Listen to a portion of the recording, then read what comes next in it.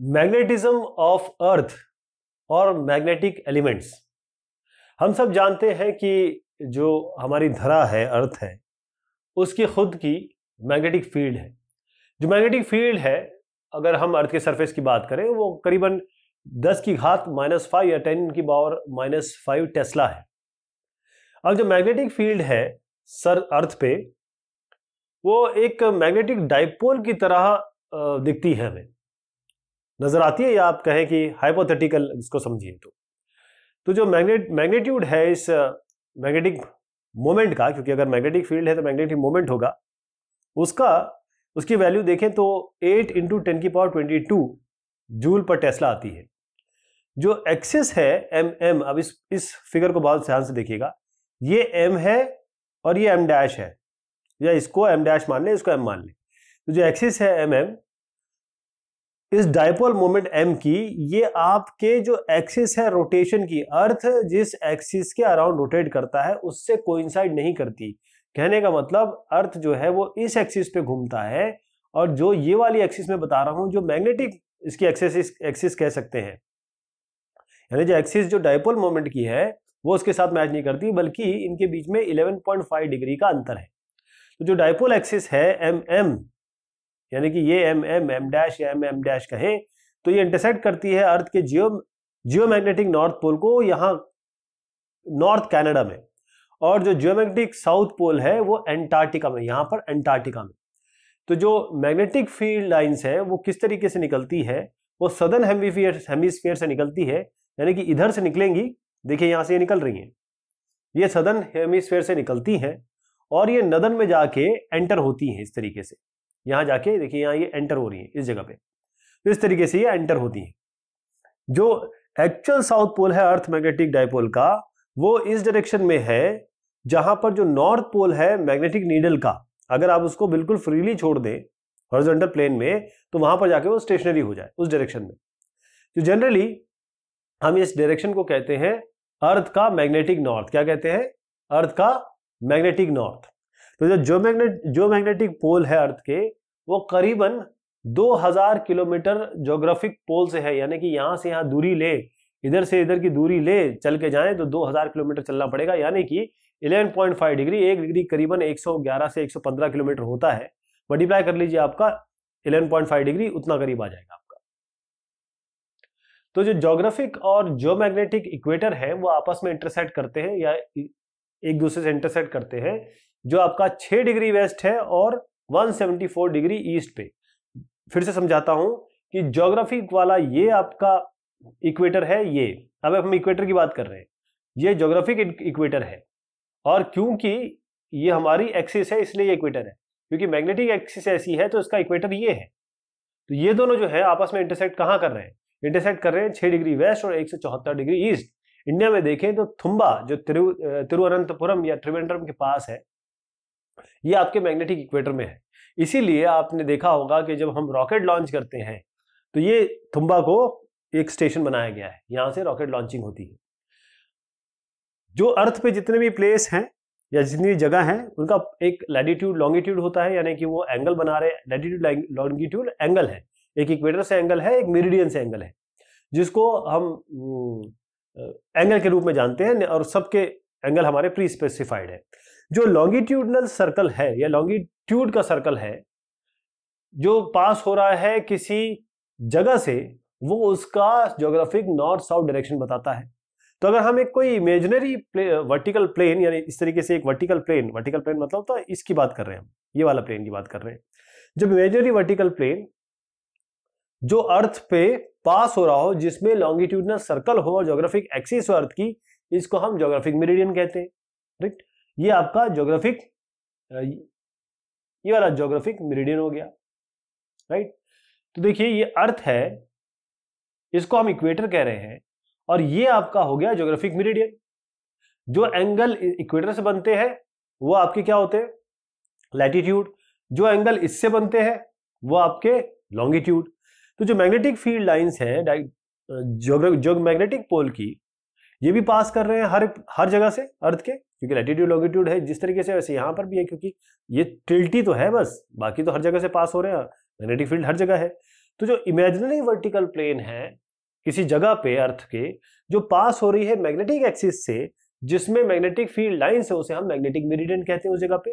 कहने का मतलब है, जिस तरीके से हमने इसको ज्योग्राफिक मेरिडियन कहा, या इसको, इसमें हम एक जगह बताएँगे कि यूके से पास होती है प्राइम मेरिडियन तो इसी तरीके से ये जो मैग्नेटिक लेवल पे अगर हम देखें तो ये वाला जो है, इसको हम जियोमैग्नेटिक मेरिडियन कहेंगे। जैसे हम इसको, ये वाले को हम जियोग्राफिक मेरिडियन कह रहे हैं तो इसको हम जियोमैग्नेटिक मेरिडियन कहेंगे।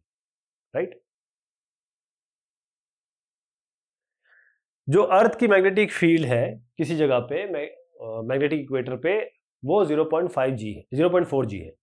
आपको मैग्नेटिक डायपोल मोमेंट बताना है अर्थ का, और आपको जो रेडियस है अर्थ का ये 6.4 पॉइंट फोर इंटू टेन की पावर सिक्स मानना है। Mu zero by four pi की वैल्यू यहाँ दी हुई है, एक जी की वैल्यू टेन की पावर माइनस फोर टेस्ला दी हुई अब देखिए, जो मैग्नीट्यूड है इक्वेटोरियल मैग्नेटिक फ़ील्ड जो हम ऑलरेडी अपने डिस्कशन में पहले ले चुके हैं, कि जो इक्वेटोरियल मैग्नेटिक फ़ील्ड होती है, उसकी मैग्नीट्यूड हमें पता है कि वो बी होती है mu zero by four pi M Y cube अब चूँकि हमको इस सवाल में ये दिया हुआ है बी दिया हुआ है, ठीक? हमको जी दिया हुआ है, जो यहाँ पर पॉइंट फोर है, इसको हम कन्वर्ट कर लेते हैं आपके टेन की पावर माइनस फोर टेस्ला के हिसाब से। एम निकालना है हमें। तो एम कैसे आएगा? यहाँ रखिए, बाकी इधर ले आइए।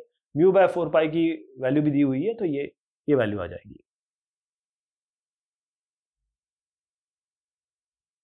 जियोमैग्नेटिक एलिमेंट्स अब, अगर हमको इस पर चर्चा करनी है डिस्क्राइब करना है मैग्नेटिक फ़ील्ड अर्थ की साइंटिफिकली, तब हम क्या करेंगे? तो हमारे पास कुछ मैग्नेटिक पैरामीटर्स हैं जिसको हम जियोमैग्नेटिक एलिमेंट्स कहते हैं। पहला है मैग्नेटिक डिक्लिनेशन। डिक्लिनेशन मतलब होता है, आप सीधा देख रहे हैं अभी, आप सीधा देखिए। जब आप ऊपर की तरफ़ देखेंगे, उसे एलिवेशन कहते हैं। अगर आप अपने सीधी आँख से जो देख रहे हैं, उसमें जब नीचे देखने लगेंगे तो उसे हम डिक्लिनेशन कहेंगे। यानी कि आप, आपकी आँखें इस तरफ़ है, आप यहाँ देख रहे हैं, यहाँ देखेंगे तो एलिवेशन, यहाँ देंगे तो डिक्लिनेशन। तो ये डिक्लिनेशन में इसकी बात कर रहा हूँ। तो जो मैग्नेटिक डिक्लिनेशन है, ये एंगल है आपके मैग्नेटिक मेरिडियन और जो जोग्राफिक मेरिडियन है उस जगह पे। किसी एक जगह पे, किसी भी अर्थ के किसी जगह पे जो एंगल बन रहा है मैग्नेटिक मेरिडियन और जोग्राफिक मेरिडियन के बीच में, उसे हम कहेंगे आपका मैग्नेटिक डिक्लिनेशन कहने का मतलब ये है कि अगर ये जोग्राफिक नॉर्थ है, ये हमारा जोग्राफिक साउथ है। लेकिन मैग्नेटिक नीडल तो यहाँ पॉइंट कर रही है तो जो जो हमारा मैग्नेटिक नॉर्थ है, वो ये है और मैग्नेटिक साउथ ये है तो इनके बीच में एक एंगल बन रहा है और ये जो डी एंगल बन रहा है कैपिटल डी इसी को हम डिक्लिनेशन कह रहे हैं। तो किसी भी पॉइंट पे अगर हम जाएँगे, अब मैं आपको बताता हूँ कैसे। जो एंगल बन रहा है ट्रू ज्योग्राफिक आपके नॉर्थ और मैग्नेटिक नॉर्थ किसी भी जगह पे, उसी को हम मैग्नेटिक डिक्लिनेशन कह रहे हैं, जो कि मैं आपको, मैंने ये बताया। तो फिर से समझाता हूँ आपको कि जो एंगल है मैग्नेटिक मेरिडियन अभी हम ये मेन ले लेते हैं। मैग्नेट ये आपका geographic meridian angle geographic meridian और ये आपका हो गया नीले में हो गया, लाल में आपका हो गया जोग्राफिक मेरिडियन नीले में हो गया आपका मैग्नेटिक मेरिडियन इनके बीच में जो एंगल है, किसी भी जगह पे अगर आप निकालना चाहे, जो एंगल बन रहा है, उसको हम डिक्लिनेशन कहते हैं। ये ध्यान रहेगा? ये डिक्लिनेशन इस पॉइंट ए का हमने निकाला, किसी कोई कोई एक पॉइंट पे जाइए तो उसका डिक्लिनेशन ये डी निकलता है। यानी कि आप कैसे, मैं बताता हूँ आपको। यहाँ से आप लीजिए वो डायरेक्शन देखिए, हमेशा डायरेक्शन किस तरीके से लेते हैं? अगर ये हमारे पास एक सर्कुलर है तो हम उसका डायरेक्शन इसका टेंजेंट लेते हैं ना। तो मान लीजिए इस पॉइंट पे है तो ये हमारा, अगर मान लीजिए ये हमारी जोग्राफिक लैटिट्यूड लॉन्गिट्यूड है, या मेरिडियन है तो इसमें टेंजेंट बनाइए। इसी तरीके से अब ये मैग्नेटिक वाला चल रहा है। ये जोग्राफिक हो गया, ये मैग्नेटिक हो गया। यहाँ पे टेंजेंट बनाइए। इनके बीच में जो एंगल होगा किसी भी पॉइंट पे, उसे ही हम डिक्लिनेशन कह रहे हैं। तो यहाँ पर हमने देखा कि एक पॉइंट ए है आपका। इस पॉइंट पे जो डायरेक्शन है ट्रू जोग्राफिक नॉर्थ की, वो हमने यहाँ टेंजेंट से बताई, ये टेंजेंट हो गया आपका, है ना? जो लॉन्गिट्यूडनल सर्कल है जोग्राफिक मेरिडियन का। अब एक मैग्नेटिक नीडल को यहाँ पर आप रख दीजिए, उसको अलाइन होने दीजिए मैग्नेटिक मेरिडियन के हिसाब से। जो नॉर्थ पोल होगा मैग्नेटिक पॉइंट मैग्नेटिक नीडल का, वो पॉइंट करेगा जोग्राफिक आपके नॉर्थ पोल पे। अगर इसी जगह पे हम एक, ये इस तरीके से एक नीडल लटका दें तो वो इस डायरेक्शन में पॉइंट करने लगेगा।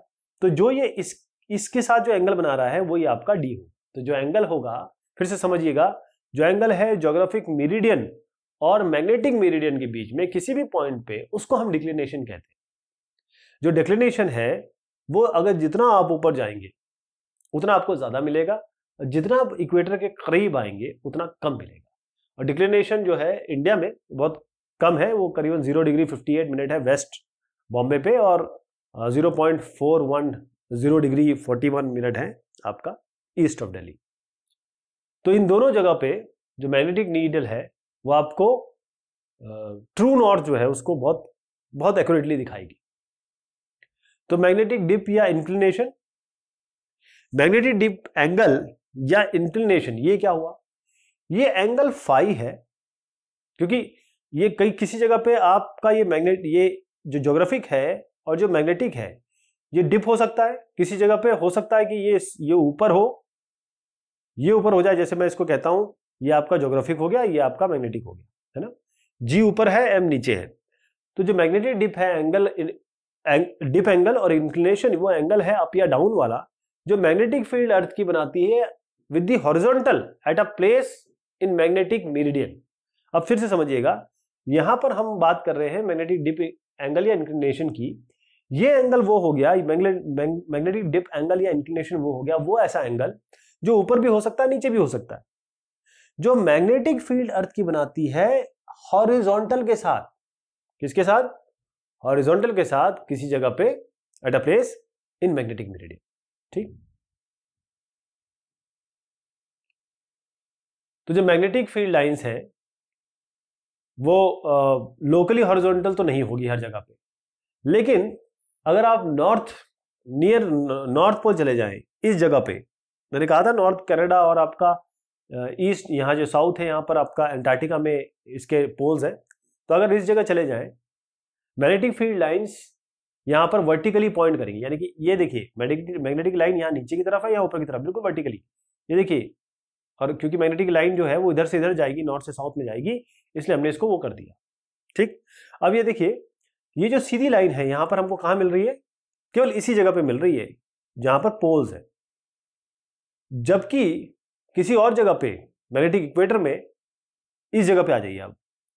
इस जगह पे ये आपको बिल्कुल सीधी मिलेगी, यानी हॉरिजॉन्टल मिलेगी। मैग्नेटिक इक्वेटर पे डिप एंगल आपका ज़ीरो होगा। मैग्नेटिक इक्वेटर पे डिप एंगल आपका ज़ीरो होगा, और जैसे जैसे आप ऊपर की तरफ़ बढ़ते रहेंगे तो यहाँ पर आपको, क्योंकि देखिए, यहाँ पर अगर मैं टेंजन बनाता हूँ इस जगह पे। और ये एंगल लेता हूँ तो यहाँ पर 90 डिग्री मिलेगा मुझे। जबकि मैं यहाँ पर देखिए, अगर मैं यहाँ पर एक टेंजन बनाता हूँ और इसकी डायरेक्शन लेता हूँ तो मुझे एक ही डायरेक्शन ये टेंजन लेता हूँ और इसकी भी डायरेक्शन ये है तो फाइव आपको ज़ीरो मिलेगा।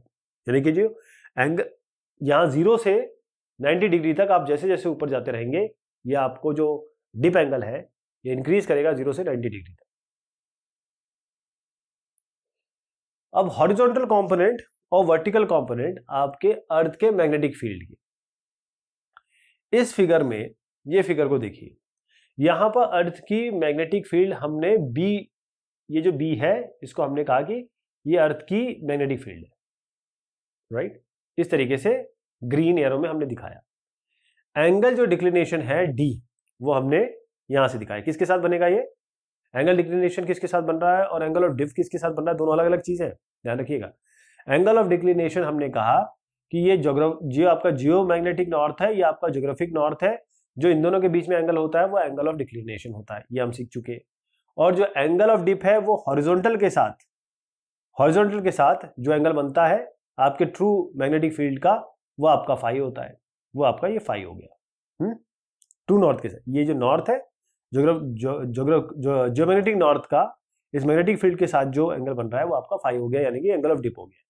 तो जो मैग्नेटिक फ़ील्ड बी है, ये वाली, किसी पॉइंट पी पे उसको हम रिजॉल्व कर सकते हैं हॉरिजॉन्टल और वर्टिकल कंपोनेंट एक जो पॉइंट कर रही है जियो मैग्नेटिक नॉर्थ पोल यानी कि इस डायरेक्शन में, और एक वर्टिकल कंपोनेंट जो आपके अर्थ के सेंटर की तरफ़ जा रही है। ठीक? अब इसमें क्या है? इसको हम बोल देंगे बी एच इसको हम बोलते हैं बीवी इसको हम बोलते हैं बी एच इसको बीवी तो एंगल जो बना रहा है बी एच इस जोग्राफिक मेरिडियन के साथ, जो एंगल ये बी एच है जोग्राफिक मेरिडियन के साथ जो बना रहा है, उसे हम कह रहे हैं ये वाला। ये वाला geographic geomagnetic north geographic north बना रहा है, वो हमारा डी हो गया। जबकि जो एंगल बना रहा है ये बी एच और बी हॉरिजॉन्टल कंपोनेंट और ये बी इसको हम कहते हैं एंगल ऑफ़ डिपिया इंक्लिनेशन राइट इसको हम फाई करें। तो जो इंक्लिनेशन है, ये डी और जो एंगल है डिप फाइव और जो हॉरिजॉन्टल कंपोनेंट है अर्थ फ़ील्ड बी एच इसको हम कहते हैं जियो मैग्नेटिक एलिमेंट या एलिमेंट अर्थ मैग्नेटिक फ़ील्ड के। क्या हो गई ये? ये डी फाई और ये आपका जो, ये एक ये ये एंगल ये एंगल और ये बी एच ये ये और बी एच ये बी एच हो गया और ये ये ये और ये ये तीनों को मैं कह रहा हूँ कि ये तीनों चीज़ मिलके हमारी अर्थ की मैग्नेटिक फ़ील्ड के एलिमेंट्स होते हैं। तो अगर हमको मैग्नेटिक मेरिडियन लें, जैसे मैं आप, इसको बताता हूँ, आपका ये ओ है, ये आपका पी है और ये क्यू है, ये आर है ओ पी क्यू आर हो गया। इसमें देखिए, जो बीवी होगा, क्या होगा? ये बी है तो बीवी आपका, जैसे बी एच आपको ले लें तो ये आपका बी एच होगा बी कॉस कॉस फाइव और ये बी एच इसी तरीके से बी वी हो जाएगा बी साइन फाइव ये हमारे, जैसे मैं इसको बताऊँ, ये आपका बी है, ये फाइव है तो ये डायरेक्शन हो जाएगा बी एच कॉस और ये हो जाएगा बी मतलब बी बी कॉस और ये हो जाएगा बी साइन तो इसको मैं बी एच कह सकता हूँ, और इसको मैं बी वी कह सकता हूँ।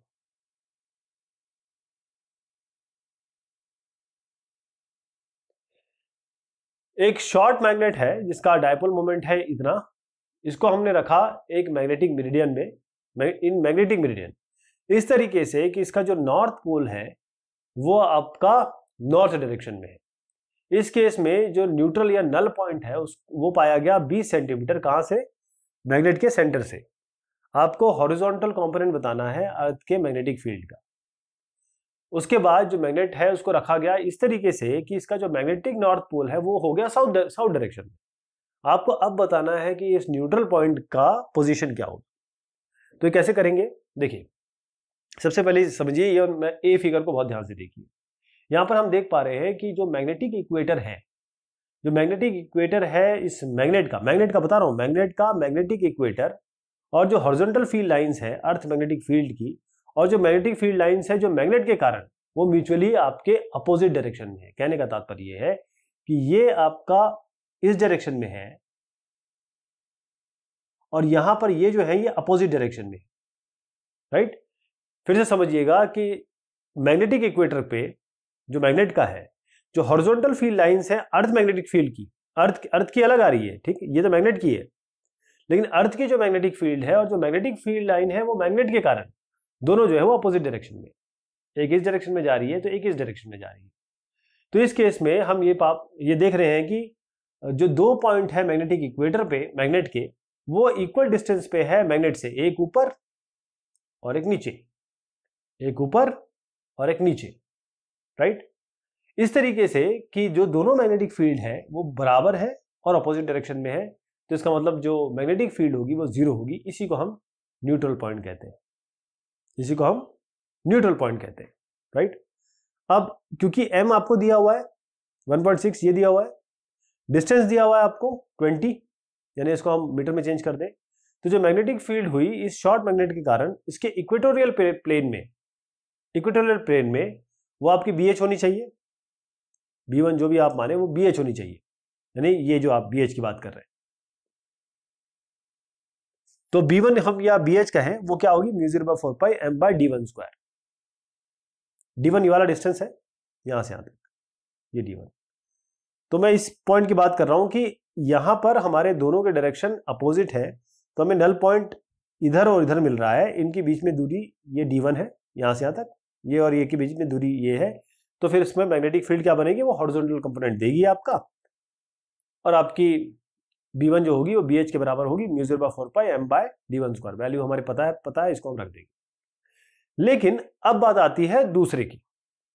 हमने क्या किया कि जब पहले केस में, पहले केस केस में नॉर्थ पोल को नॉर्थ डायरेक्शन में रखा गया राइट ये नॉर्थ पोल है, इसको नॉर्थ डायरेक्शन में रखा गया। लेकिन अब हम क्या कर रहे हैं कि जो नॉर्थ पोल है, उसको इस डायरेक्शन में रखा गया साउथ के डायरेक्शन में और साउथ का नॉर्थ डायरेक्शन में रखा गया।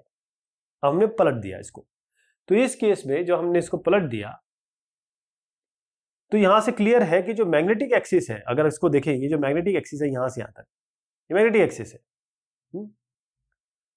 और जो बी एच है, जो हॉरिजॉन्टल कंपोनेंट है, और जो मैग्नेटिक फ़ील्ड है, जो मैग्नेट के कारण है, वो आपके, क्योंकि पिछले इसमें एक डायरेक्शन में थी, यहाँ पर अपोजिट डायरेक्शन में एक इस डायरेक्शन में जा रही है तो एक अपोजिट डायरेक्शन में जा रही है हम्म?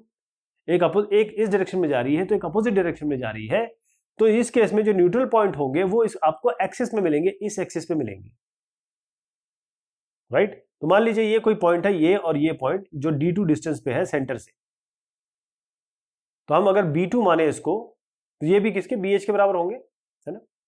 तो यहाँ पर mu zero by four pi two M by अब ये हमको डी टू यहाँ से यहाँ तक जो डिस्टेंस है डी टू स्क्वायर लेना अब हमको डी टू स्क्वायर पता नहीं है इसमें। और हम जानते हैं बी एच अभी भी हम निकाल चुके हैं। यहाँ पर रख दीजिए, आप डी निकाल लेंगे डी टू निकाल लेंगे, ये आपका डिस्टेंस होगा नल पॉइंट का। ये आपका two point five two centimetre आ जाएगा। एक मैग्नेट को लटकाया गया हंग हॉरिजॉन्टली इसके मैग्नेटिक मेरिडियन में एक वायर द्वारा कोई इसमें ट्विस्ट नहीं दिया गया, सीधा लटकाया गया। यदि जो सपोर्टिंग वायर है उसको ट्विस्ट दिया गया 180 डिग्री टॉप पे। तो मैग्नेट रोटेट करता है 30 डिग्री। 30 डिग्री रोटेट करता है, यानी कि अगर 180 पे किया गया तो वो 30 डिग्री रोटेट करता है। कहने का मतलब वो 150 पे आता है। 180 पे रखा तो 30 डिग्री मूव कर गया तो 150 पे आया। यदि जो एक और मैग्नेट हमने यूज़ किया, और उसको ट्विस्ट जो 270 डिग्री का है सपोर्टिंग एंड में दिया गया तो रोटेट करता है 30 डिग्री, यानी 270 पे है तो 30 डिग्री कर जाएगा तो 30 डिग्री माइनस करिए 240 डिग्री आ जाएगी। आपको कंपेयर करना है मैग्नेटिक डायपोल मोमेंट इन दोनों दोनों मैग्नेट का। तो कैसे होगा? जो रिजल्टेंट ट्विस्ट है, मान लीजिए डेल्टा है राइट हम क्या करते हैं, जो डेल्टा वन है, जैसे कहा 180 डिग्री पे किया तो 30 डिग्री इसने अपने आप को ट्विस्ट कर लिया, क्योंकि ये अलाइन होना चाहता है। नॉर्मल जो नॉर्थ साउथ डायरेक्शन में अलाइन होना चाहता है। तो 150 डिग्री ये करीबन घूम गया, इसको रेडियन में चेंज कर देते पाई बाय वन से मल्टीप्लाई कर देते हैं। इसी तरीके से 270 पे जब लगाया गया दूसरा मैग्नेट 30 डिग्री घूम गया वो। तो 240 डिग्री घुमा मतलब इतना उसको बेसिकली 240 डिग्री का अंतर आया। तो जो 240 degree into pi by one ये आपका ट्विस्ट रिजल्टेंट ट्विस्ट होगा वायर पे। तो पाई बाय वन से हम मल्टीप्लाई कर देते हैं। अब हम मान लीजिए कि इसका जो दोनों वायर सेम है तो ट्विस्ट कांस्टेंट मान लीजिए के लेते हैं। तो टॉर्क क्या होता है? के इंटू डेल्टा वन यानी कि जो रिजल्टेंट ट्विस्ट आया, ऐसी टॉर्क टू का होगा के इंटू डेल्टा टू अब मान लीजिए अल्फ़ा ये एंगल है जो magnetic dipole moment magnetic meridian के साथ बना रहा है।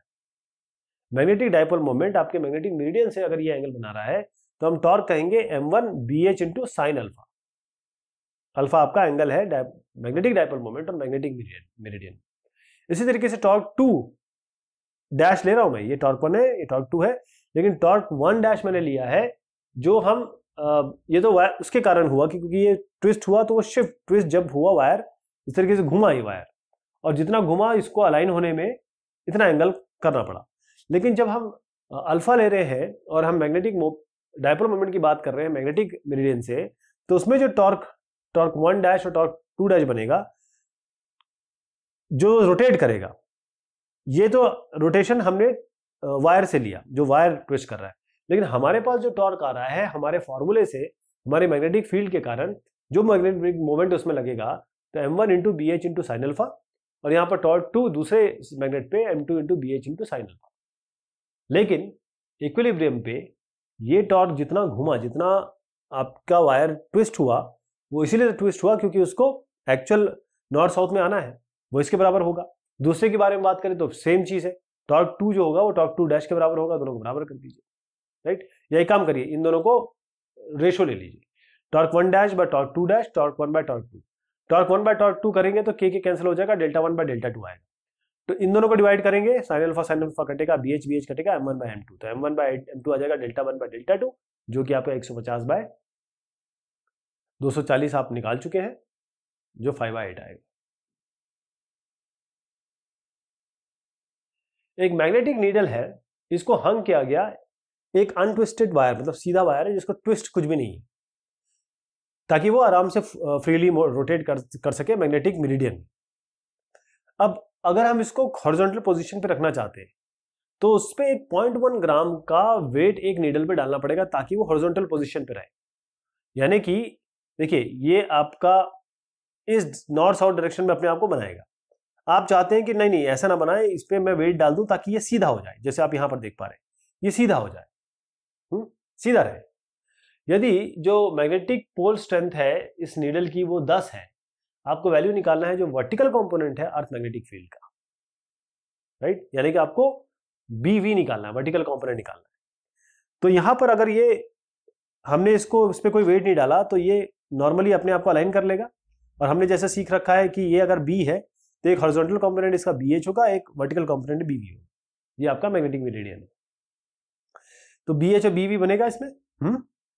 अब ये आपको बता रहा है जो मैग्नेटिक नीडल की पोजीशन है मैग्नेटिक मेरिडियन के हिसाब से बगैर वेट के बगैर वेट के। लेकिन जैसे हमने इस पर वेट रखा जैसे हमने यहाँ पर वेट रखा तो वेट रखते साथ ही ये MG हो गया। लेकिन क्योंकि ये घूमने की कोशिश करेगा तो एक मैग्नेटिक मोमेंट जो लग रहा है और ये क्योंकि बीवी कंपोनेंट है वो किस डायरेक्शन में लगेगा ये इसको ऊपर ले जाने की कोशिश करेगा रो इंटू बीवी ये क्या हो जाएगा? रो इंटू बीवी क्या होता है? एक फोर्स एमजी है और force magnetic moment into magnetic field आपका फोर्स होता है जो उसको अपोजिट डायरेक्शन में लगा, ले जाएगा। देखिए, जो मैग्नेटिक मोमेंट है इंटू जो इंटू जी, जो बी होता है, वही आपका फोर्स होता है। तो वो फोर्स यहाँ पर लगने लगेगा B into P into B जो उसके अपोजिट डायरेक्शन में लगेगा। अब आप देखिए, तीसरी चीज़ क्या लगेगी? यहाँ पर अच्छा ये इसको ऊपर ले जाएगा तो ये इसको नीचे लाने की कोशिश करेगा। ये इसको ऊपर ले गया, तभी तो ये इसको नीचे लाया। यानी कि अगर आप P इंटू बी वी यहाँ पर कर रहे हैं तो इस डायरेक्शन में भी P इंटू बी वी लगेगा लेकिन नीचे की तरफ़। ये ऊपर ले जा रहा है, नीचे की तरफ़ ले जा रहा है। एम जी यहाँ पर यूँ लग रहा है। हम्म ये सारे फोर्सेस हो गए। अब फोर्स तो ये हो गए, लेकिन टॉर्क निकालना है तो कैसे होगा? टॉर्क क्या होता है? फोर्स इंटू लेंथ है ना? टॉर्क होता है four F cross D F और अगर मैं क्रॉस लगाऊँ मतलब एरो लगाऊँ, लेकिन नॉर्मल में एफ़ इंटू लेंथ होता है। तो हम क्या करेंगे? इस पॉइंट पे आइए।